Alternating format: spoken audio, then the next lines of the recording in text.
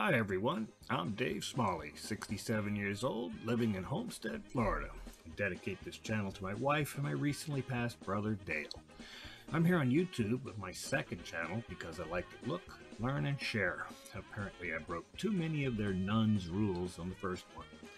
I'll be sharing stuff about boats, babes, bikes, Costa Rica, astronomy DIY, or do-it-yourself, Boat Comedy is from boat ramps south of Miami and near Homestead. Babes on the Miami River get downright rowdy, so much so that YouTube explodes. So I post the racy stuff on my Patreon page for free.